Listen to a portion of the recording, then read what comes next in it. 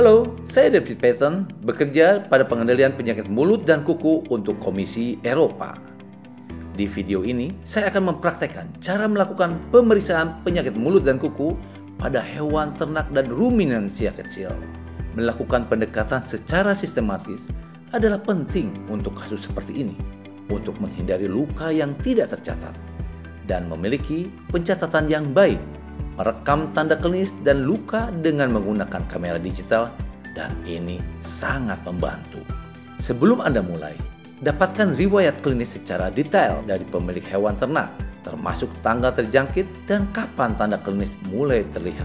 Beberapa di antaranya termasuk lesu, hilang selera, dan tidak mau makan, produksi susu berkurang, kaki pincang, air berliur, kesulitan mengunyah, kematian mendadak pada ternak muda.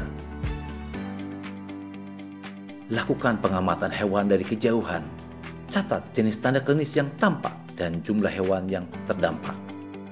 Anda juga memeriksa seluruh kelompok ternak di tempat itu, lalu pilih salah satu hewan itu untuk pemeriksaan yang lebih dekat. Sebelum memulai pemeriksaan jarak dekat, kendalikan hewan dengan hati-hati. Jika diperlukan, gunakan obat penenang. Ingat, Penyakit mulut dan kuku membuat hewan dalam kondisi sangat kesakitan. Untuk itu, tanganilah dengan lembut. Mulai dengan memeriksa suhu badan hewan. Di tahap awal, infeksi penyakit ini terlihat seperti demam. Lalu, periksalah seluruh permukaan mulut secara seksama, termasuk di bawah bibir bagian atas bantalan gigi dan di dalam bibir bawah, di bagian samping langit-langit dan dasar mulut. Mendapat gambaran awal yang baik pada lidah adalah penting sebelum menarik keluar mulut, karena buih akan pecah dan banyak jaringan epitel akan terkelupas saat penanganan. Dengan sehelai kain, peganglah lidah hewan dan menahannya. Sebaiknya, periksa seluruh permukaannya dan rasakan jika ada ketidaknormalan.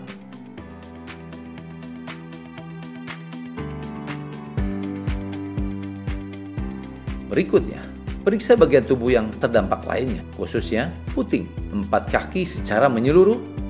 Bersihkan kotoran yang ada agar terlihat jelas. Pada ternak, luka lepuh biasanya ada pada celah kedua kuku.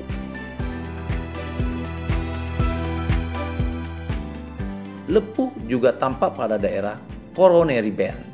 Dan untuk bisa melihatnya, Anda harus sibak bulu-bulu yang menutupinya. Sebaik Anda catat setiap luka yang Anda temukan dengan menambahkan keterangan singkat dan perkiraan umur luka tersebut, potretlah bila Anda bisa. Praktek yang kita lakukan ini berfokus pada pemeriksaan area luka yang umum terjangkit penyakit mulut dan kuku. Tapi sebaiknya Anda melakukan pemeriksaan penuh untuk mendapat diagnosa yang berbeda.